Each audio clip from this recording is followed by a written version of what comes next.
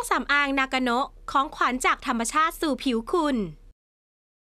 ห่างหายจากการปล่อยศิลปินใหม่มานานสำหรับค่ายเพลงเสียงสยาม ล่าสุด comeback แล้วปล่อยลูกทุ่งหนุ่มใหญ่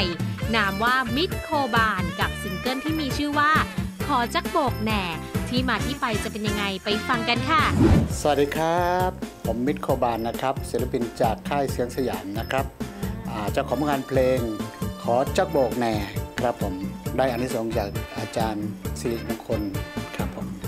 ก็ได้อ่าทำผลงานเพลงนี้แล้วก็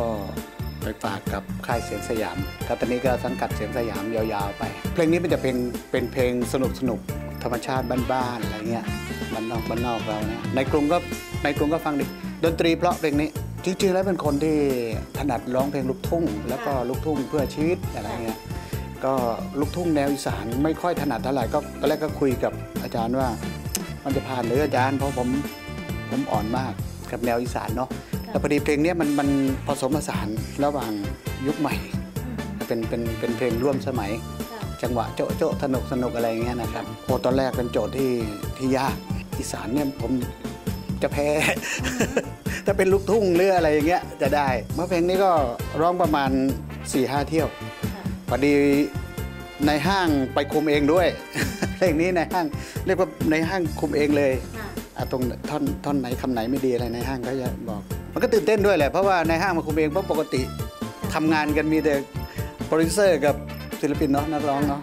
อันนี้ในห้างมานั่งคุมเองก็เกรงๆอยู่เหมือนกันฝากติดตามผลงานด้วยนะครับอ่างานเพลงขอจั๊กโบกแหน่ของมิตรโคบาลนะครับ ติดตามได้ทางช่องทาง YouTube นะ เสียงสยาม Official นะครับ แล้วก็เพจ Facebook TikTok ก็เป็นของเสียงสยามหมดเลยนะครับ เสียงสยาม Official นะครับคอเพลงลูกทุ่งต้องไม่พลาดซิงเกิลนี้นะคะ ตามไปหาชมหาฟังกันเลยทุกๆช่องทางค่ะ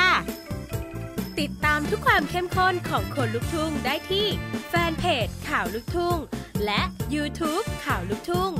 ติดต่อโฆษณาได้ที่บริษัทช้างไทยเอนเตอร์เทนเมนต์จำกัด นึกถึงลูกทุ่ง นึกถึงช้างไทย